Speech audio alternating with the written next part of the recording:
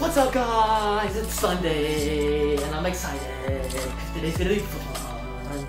We're talking about our words today, how we can use them, how can we be nice, and how we can avoid being mean. Um, I've got my friends Zach and Lincoln here. In a minute, we're gonna play an awesome game. We're gonna kind of show you what our words can do, and we're gonna talk about them. So you guys buckle up tight. This is gonna be a fun one. We're about to jump into the game. I will see you guys over there. What's up, guys? So I got my friends Lincoln and Zach here today, and we're going to play a game with all of you guys called Extreme Close Up. So the deal of the game, you have to figure out what item it is. We're gonna see it mm-hmm. super zoomed in, so we have to figure that out. Let's jump in. Oranges, We haven't started, Zach. Apples, bananas, All right. coconuts, It's not even started. The game has not started. You have to. Okay. Identify. this. red letters, Nope, that's not that. block letters. This. This. What is this? Oh, lion, avocados, lion. It's not avocados. It's a lion. I'm gonna go with no. That's Or it's a kangaroo.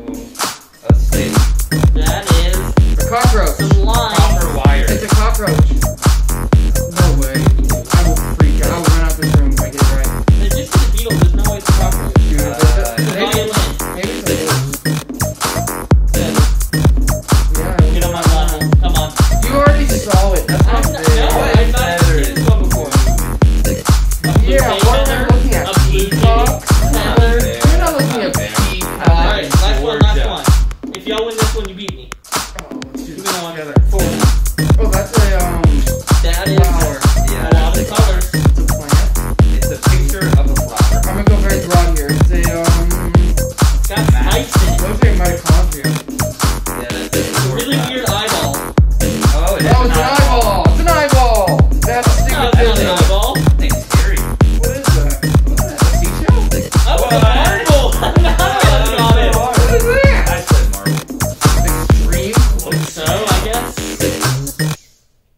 Guess none of us won. That's how we're playing. So, well, good job, guys. Uh, I think we got a little something for them after this, and we will see you guys there. So I just want to say, when it was an onion, I I am back in a brand new month and a brand new year. It is January of 2021. How exciting is that? Woo woo. So, we are going to start off our 2021 with a new memory verse for the month. Alrighty, so we are going to be in Luke 16:10. So, let's hop right into it. Alrighty, so and first word is suppose. We're going to put our thinking faces on, and tap our chin. So suppose that you can be trusted. Make pinky promise with yourself. All right, connect your pinkies. So suppose that you can be trusted with something very small. Very small.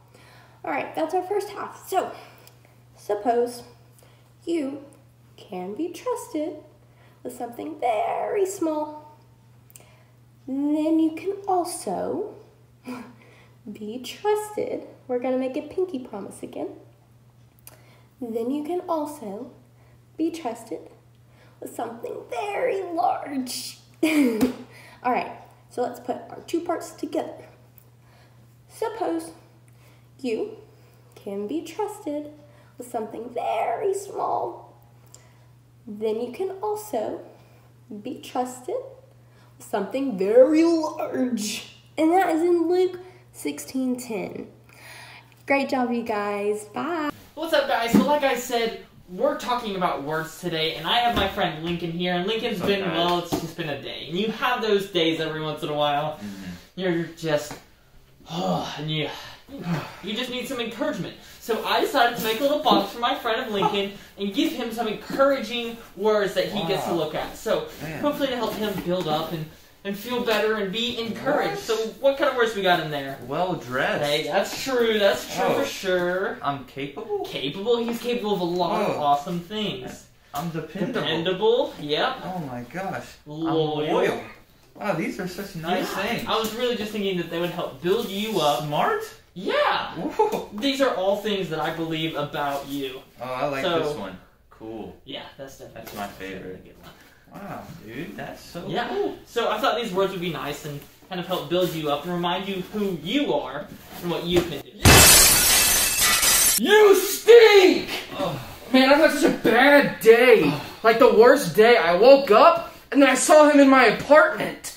And then I went to work and I played basketball and we lost four times. Four! Not once, not twice, definitely not three, but four times.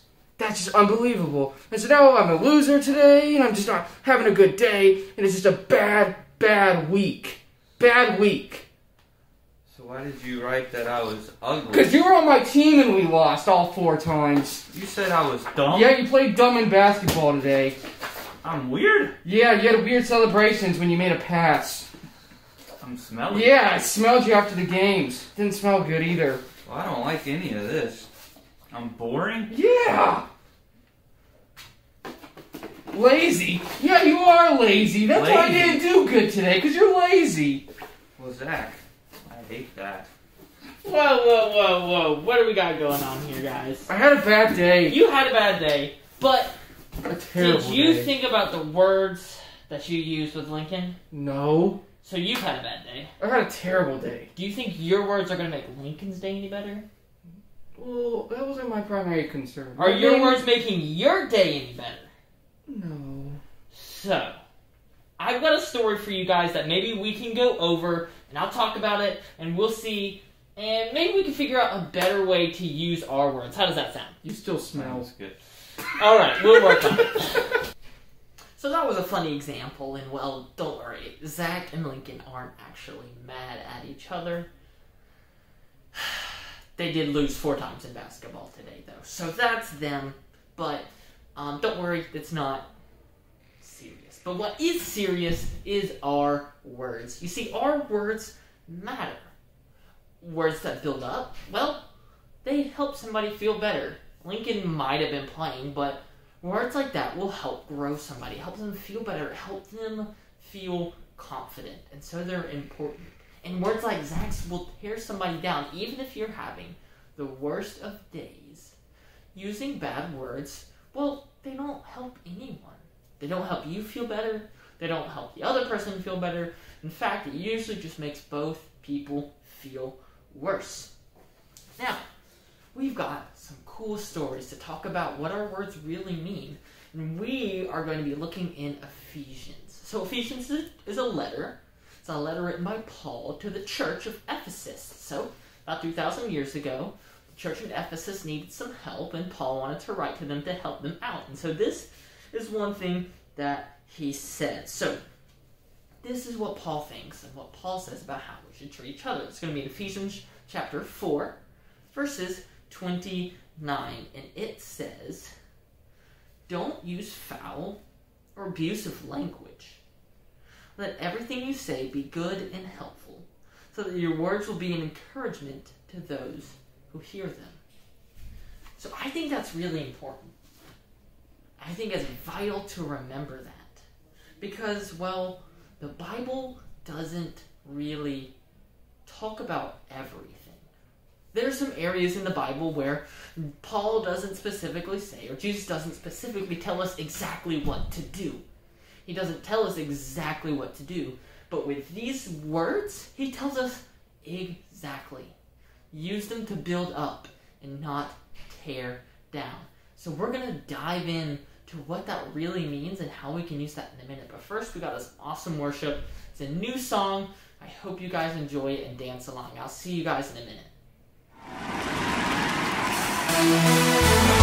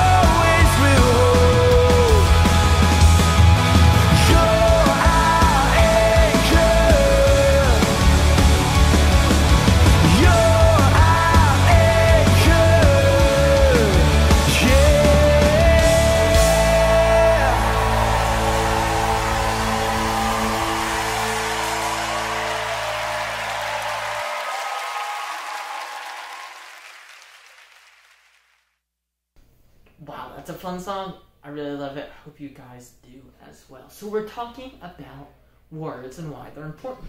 And well, just like with Zach and Lincoln, we see that they can build up or they can tear down. They can make a day or ruin a day. In fact, you know Andrew, right?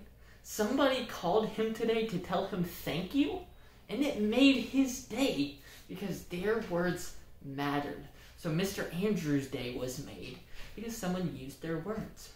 And I think we've all experienced days where somebody used their words and they made a difference, good or bad. Somebody said thank you, or told you good job, or pointed out something cool you did, or someone tore you down, said something they didn't like about you, pointed out something you're insecure about. Either way, we know that words have power, and yet we still struggle to use them sometimes. Sometimes we find ourselves saying the very things that hurt us because we're human. We all make mistakes, but luckily we have an example to look forward to, and that's Jesus. And he calls us to use words wisely. Now you may be thinking, how? Sometimes I just say things and I don't mean to. Well, there's a few things we can practice. The first is slowing down. If you find yourself frustrated, if you find yourself angry, this isn't even like a Bible tip necessarily. This is just for life. Slow down. My favorite thing is to take a deep breath in and out. And you might still be mad. And sometimes it's okay to be mad. But you might stop yourself from saying something that's not okay to say. So, step one is slow down. Step two is pray. If you find yourself frustrated, just pray, God, give me peace, or give me patience, or even help me not to say what I want to say. Because sometimes we want things that just aren't good. So, Jesus' life was all about hope. He constantly taught about hope, and he brought hope with his words. He brought truth and love and grace, all with his words. So I want you guys to think about that. How can you bring hope? How can you bring love and grace with your words? And instead of tearing people down, how can we help? And that's not just for you. That's for your friends and for the people around you. If you hear somebody tearing somebody else down, how can you step in and help, even if it's scary? Can you go ask a teacher?